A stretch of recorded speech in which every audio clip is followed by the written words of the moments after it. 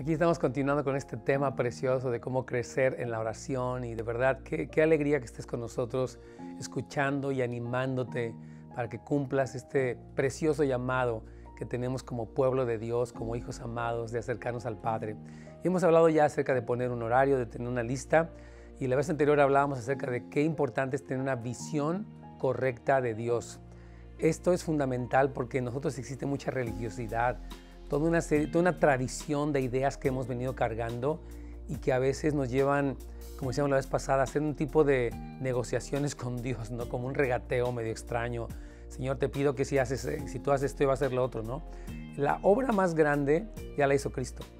Él pagó el precio. Él es nuestro redentor. Él es el que nos da la confianza. De hecho, la Biblia dice en Hebreos capítulo 11 que es necesario que el que se acerca a Dios crea que Él está allí y que él, él es galardonador de los que le buscan. Porque dice que sin fe es imposible agradar a Dios.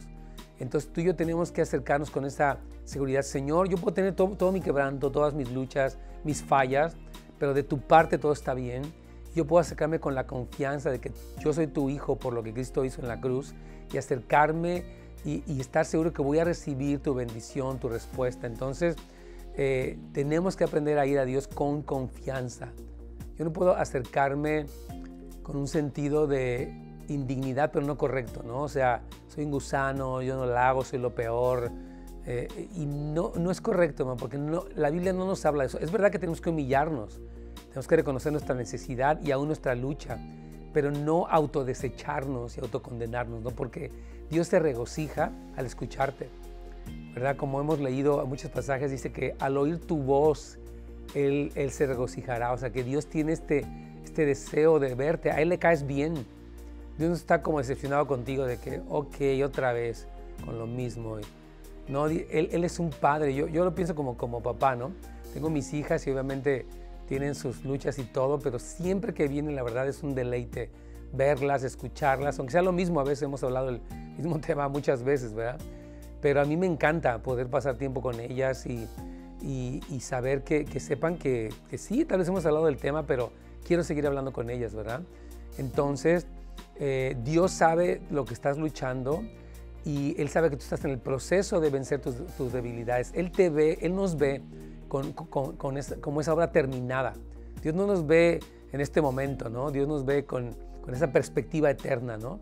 Yo creo que esta capacidad de Dios de vernos a la luz de la eternidad lo hace amarnos todavía más, ¿no? Él, dice, ok, estás así, pero sé lo que va a pasar contigo, sé lo que te voy a dar, sé que vas a estar conmigo y vas a ser glorioso, ¿verdad? Entonces es muy importante eh, empezar a renovar nuestra mente con lo que la palabra del Señor nos dice para poder orar con esa confianza, esa seguridad, ¿no? Algunas personas tienen el mal concepto de la soberanía de Dios, ¿verdad? La soberanía de Dios es una de las doctrinas más importantes de la Biblia. Una visión inadecuada de la soberanía de Dios es cuando la gente lo deja a Dios las cosas como que, o sea, que les corresponden a ellos, ¿no? Ellos piensan que Dios va a hacer por ellos lo que ellos tienen que hacer y Dios nunca hace por nosotros lo que nos toca hacer a nosotros, ¿verdad? Nosotros podemos hacer lo que Dios hace. Dios es Dios y Él va a hacer su parte y a mí me corresponde una parte, ¿verdad?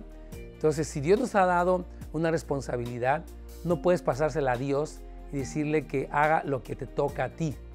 Por ejemplo, la oración es algo que tú tienes que hacer. Dice, ya Dios sabrá, ya Dios sabe lo que yo necesito, hay como sea. No, Él quiere que tú tengas una conversación con Él, como hemos hablado. Él quiere que tú dialogues con Él con su palabra. Él quiere hablarte a tu corazón. Él quiere que tú moldees tu oración.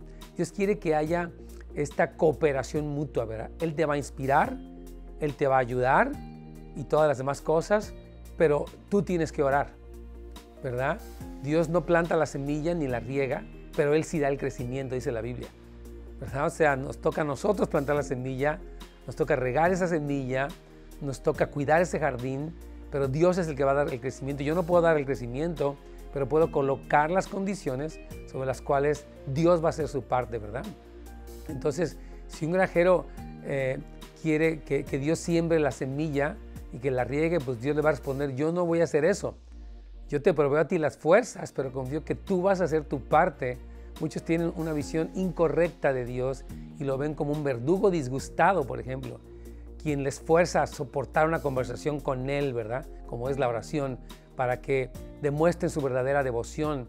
Mientras que vamos percibiendo a Dios como nuestro Padre tierno y a Jesús como nuestro Rey prometido, apasionado, eh, seremos energizados en nuestro espíritu para buscarle confiadamente con todo nuestro corazón, hermanos. Así que seguimos con este tema y te sigo animando, escúchalo y sobre todo practícalo. Y yo creo que vas a ver más de Dios en tu vida personal y, aparte Él actuando a favor tuyo. Nos vemos la próxima vez para continuar con este tema importante.